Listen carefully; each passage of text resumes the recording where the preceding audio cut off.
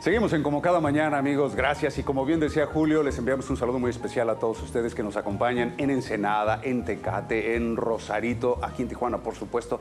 Gracias por acompañarnos. Y estoy maravillado con los invitados de Julio. Julio, verdaderamente te sacas un 10, eres muy atinado en eso. Fíjate que este no fue invitado, pero tengo el gusto de, de conocerlo.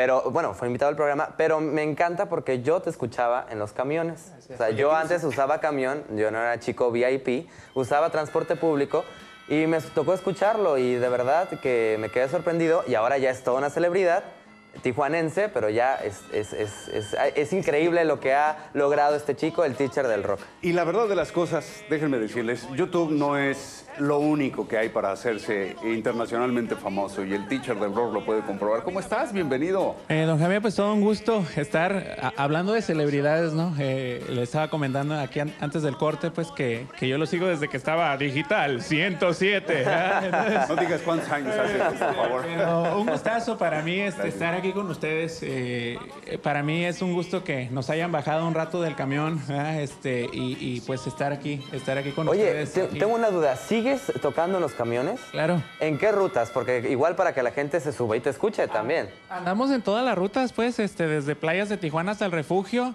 Y ahora sí que de, de playas de Tijuana al refugio y luego desde la línea hasta Santa Fe, ¿verdad? Este, así que un saludo para toda esa gente que nos ha apoyado a través de los años. Ya son ¿Cuántos? 11 años. 11, Ya son 11 11. años tocando en las calles. Este, la gente pues nos ha apoyado bastante y un saludo para todas las personas que han apoyado nuestro seguir. Muchas ¿Cómo es que gracias. surgió la idea? O sea, la verdad no fácilmente cualquiera se anima y dice, sobre todo porque existe cierto momento el pudor, la incomodidad, de, híjole, ¿cómo le voy a hacer? Bueno, pues un camionazo, ¿no? Y ¿cómo le hace? ¿Cómo Eh, surgió? Pues eh, básicamente yo creo que como buen tijuanense, eh, uno, bueno, yo sentía esa necesidad de demostrarle mi cariño a la ciudad, de demostrarle mi cariño a la ciudad eh, tocando canciones inéditas. Todas las canciones que compongo son canciones originales, inéditas. Y, este, y esa es como mi manera de demostrarle mi cariño a la ciudad, vaya. Entonces, pues para mí era, era muy importante. Entonces uno se sube al camión en la mañana, desde las 7 de la mañana se sube uno al camión. Y este, Ah, ¿tienes horarios de trabajo? Sí, claro, claro. ¿De siete este, qué hora? Uno se sube desde las 7 de la mañana hasta que el cuerpo aguante, ¿no? Este, eh, a las 5, 6, 7, a veces cuando ando muy enjundioso hasta las 9 de la noche, hasta el último camión. Entonces, pues para mí es un gusto que la gente me ha apoyado a través del tiempo y aparte mi música ha llegado a otros lugares, a otros lugares, este, eh, entonces pues para mí es, ¿Cómo es muy curada. Hemos tocado en el Festival Cervantino en Guanajuato. Ah, Gracias a Dios, este, hemos son tocado por allá. mayores, en esas. el Cervantino es un festival cultural pues muy importante, ustedes saben. Entonces eh, hemos tocado en, en San Francisco de California. Ahorita estamos tocando en algunos bares también en la ciudad de San Diego, eh, aquí en el Gasland Porter de San Diego. Y pues este han sido oportunidades que han salido a través de los de los discos, ¿verdad? Este, pues ahí, ahí tienen, por ejemplo, eh, la grabación que sacamos en ahí este, saquen en la es todo. Este, la grabación que hicimos en 2009, el disco se llama El Rock de mi Ciudad. eh, ese disco los tengo siempre en la bolsa para la gente que se lo ofrezca, obviamente es... eh, Ah, como tarjetitas de plano. por supuesto, sí.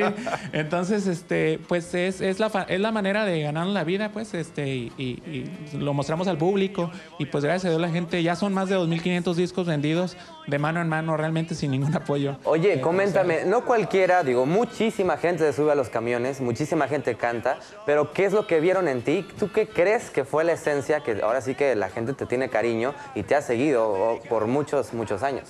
Pues yo creo que, eh, pues eh, como dice la camiseta, ¿no? El rock se lleva en el corazón.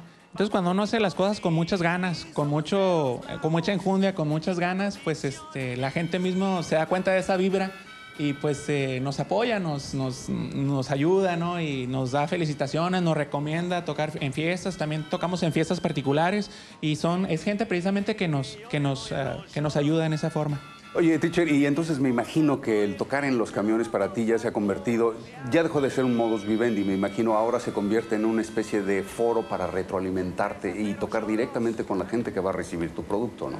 Qué mejor que tocarle al pueblo, al pueblo mismo, eh, ahí mismo, ¿no? Eh, de subirse. Eso es lo maravilloso de tocar y siempre uno conoce gente nueva.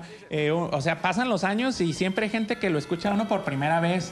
Entonces, Sí, eh, eh, es, muy bonito, ¿no? Eso es lo bonito de estar tocando en las calles y, y, pues eh, todo un orgullo porque la gente que me ha visto, que ha tenido la oportunidad, pues sabe que es, es todo corazón, todas ganas, no tanto talento o que digamos, no, el hombre más guapo, ahorita que andaban hablando de William Levy o esas cosas, ¿no?